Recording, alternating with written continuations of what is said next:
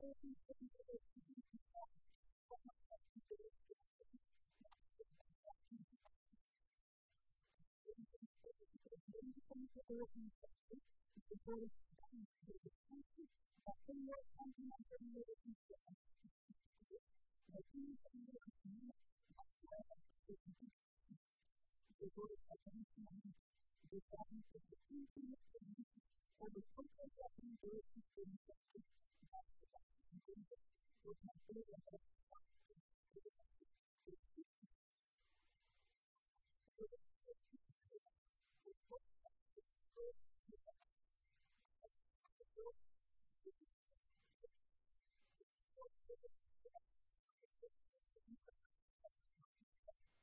Thank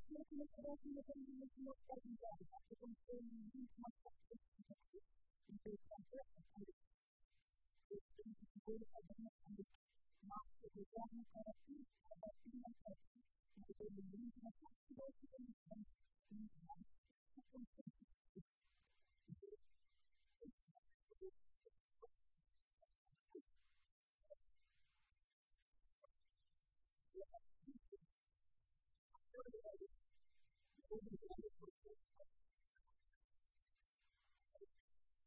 Thank